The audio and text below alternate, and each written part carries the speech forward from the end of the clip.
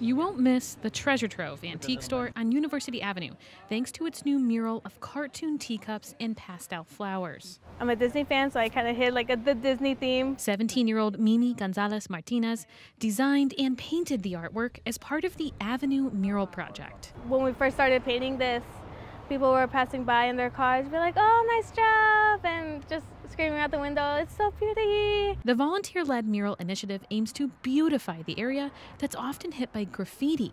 It has helped organize more than a dozen murals on buildings, walls, and at a school in City Heights.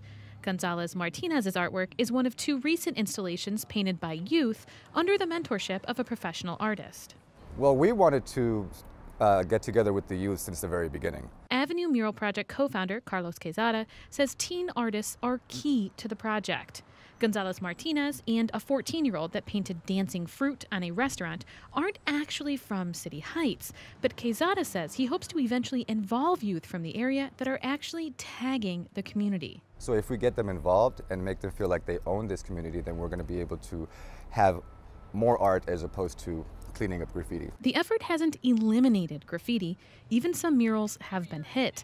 That includes one painted by Quezada and co founder Edwin Lohr that they had to recently fix. Still, Lohr says he wants to involve the youth behind that kind of vandalism and even pay them. My goal would be to hire the taggers. I mean, if, if that, that would be my, my, my ultimate goal is to get them on our side yep. and beautify their community. In the meantime, the mural initiative is gaining momentum.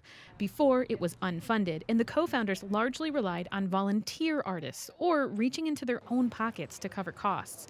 Now they've raised $13,000, and artists are requesting to join the effort. Because we didn't know that was going to happen, and now that happens. We're getting requests, hey, can I do a wall? Can I do a wall? Can I do a wall? The biggest challenge is finding property owners to offer their walls as a canvas.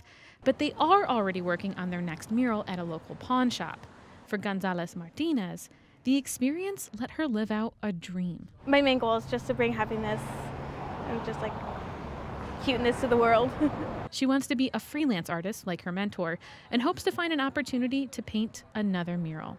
Tarryn Mento, KPBS News.